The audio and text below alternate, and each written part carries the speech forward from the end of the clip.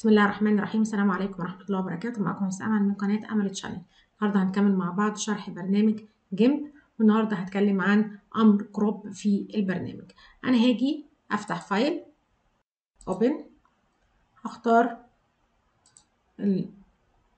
الصورة دي وأجي أقول له open. وعايزة أعمل crop في الصورة دي. تمام؟ أنا هاجي أعمل zoom كده وأجي أقول له crop.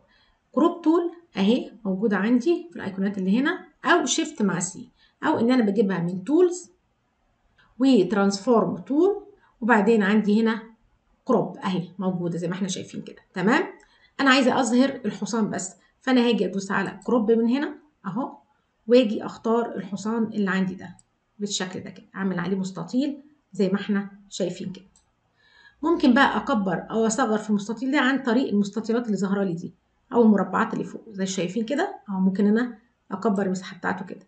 ممكن إن أنا أنزل شوية كده أهو لو أنا عايزة. تمام؟ أهو.